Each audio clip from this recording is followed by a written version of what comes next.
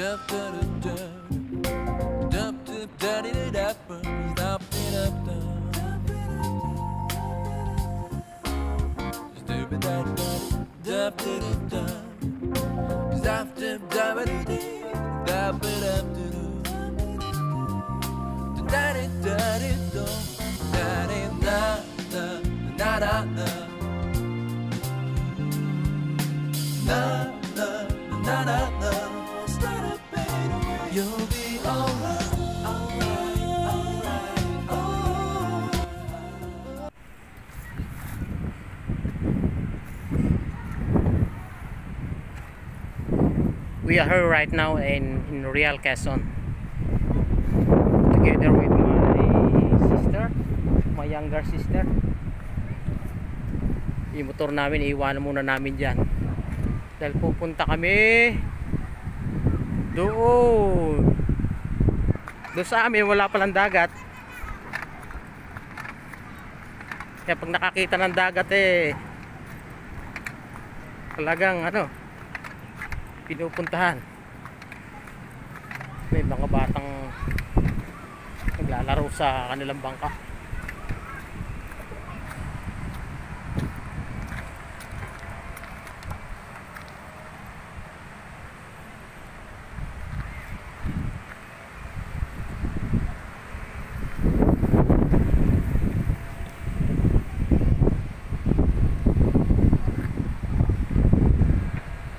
that is Sierra Madre Mountain.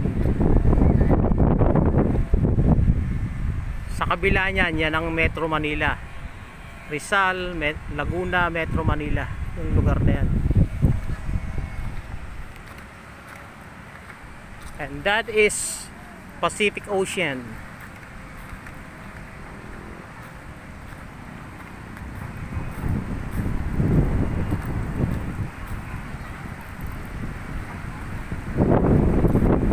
Ganda pala rito pagka ano, pagka low tide.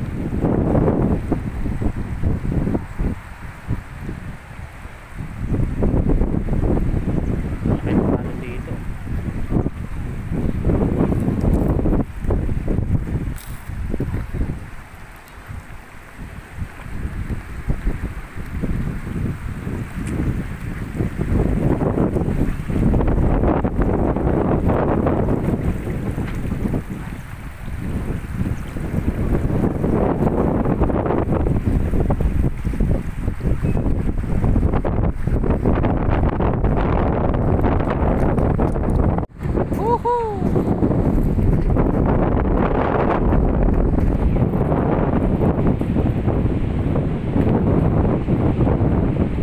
Ay, maulan, malakas na ulan. Napunta kami ng ulan.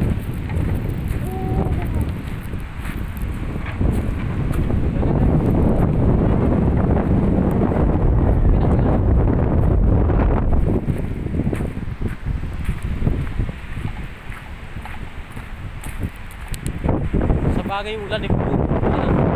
Masyado. Yung langit. Hindi naman masyadong maulap.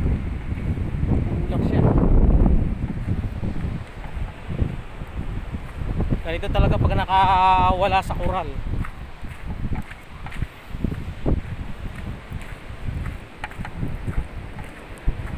Can you imagine from Bulacan up to here? Real Quezon. More than 200 kilometers.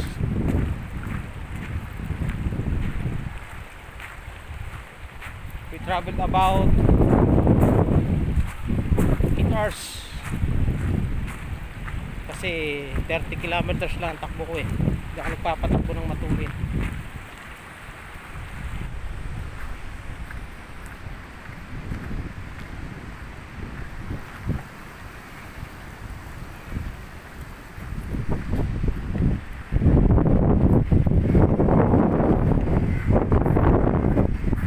Na rin kami, baka kami abutan ng Tiyak na abutan kami ng gabi sa daan. Ali, dahan-dahan lang itakbo namin. Kami nagpapatakbo ng matulin talaga.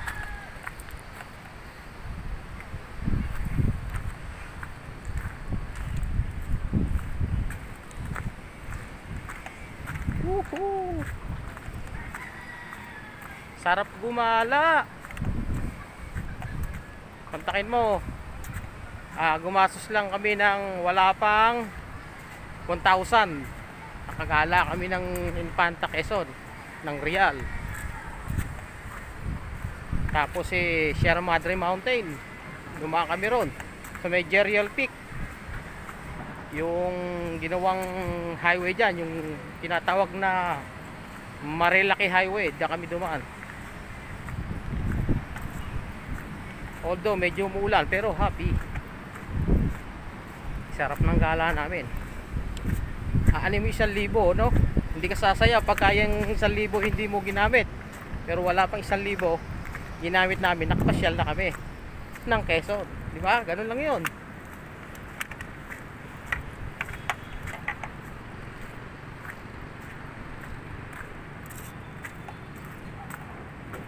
That is my youngest sister.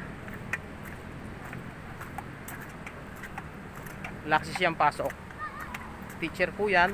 Tuturo po sa ah, bayan ng Santa Maria.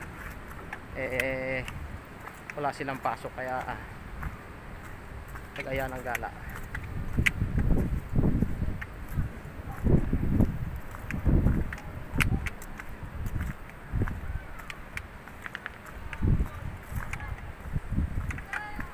Travel ulit kami.